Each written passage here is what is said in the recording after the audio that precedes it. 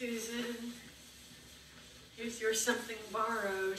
It's the necklace I wore at me and Greg's wedding that Kitty threw for us. Wow, it's beautiful. Thank you. You okay? Oh, yeah, fine. Dharma, I would understand if you don't want to be my wedding. Oh, why wouldn't I? Because Russell is Greg's friend and Greg's going to be an usher and your marriage is in the crapper. Oh, don't be silly. I want to be there for you. Plus, it's good for me to stay busy. It keeps my mind off things. And when I look at this dress, all my other problems seem so small.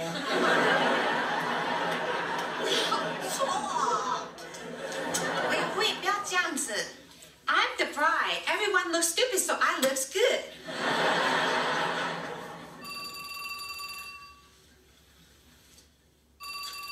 Do you think that might be Greg? I don't know. What if it is? Shouldn't you answer it? I don't know if I'm ready to hear what he has to say yet. 哎呀，这个神经病！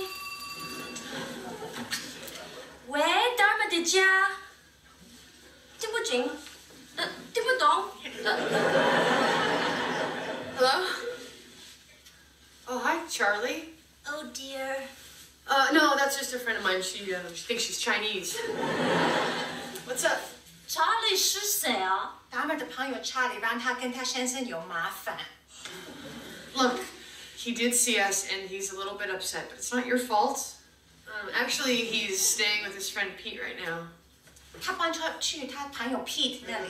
Of course I told him that. He found the letter he saw us together. What else is he going to think? 他看到你给我的信，他看到我们两个在一起，怎么样？Uh, there's nothing really you can do, and I think we probably shouldn't stay in touch. 你没有办法帮我的忙，我们两个不能再来联络。 I know. I hope so too, Charlie. 我也希望这样子，Charlie。 Bye. 拜拜。我的天，我这一生完蛋。 What did she say? Oh, I'm not comfortable with that kind of language. You ready to call it a day? I got a freezer full of goulash. I, I got some more work to do. So do I. Come on, didn't you hear the little pterodactyl on the pole? Mr. Slate says it's quitting time. I'll see you later. Now, listen, I, I know I haven't been much of a help during this whole emotional. It's okay. Okay, great. Well, I'll see you back at the crib. Mr. Montgomery, there's a man here to see you, and he's gorgeous. Marlene, who is it? It's me. And this will only take a minute. Okay. I, uh, I heard what's going on with you and Dharma. Marlene? Is there something that you need?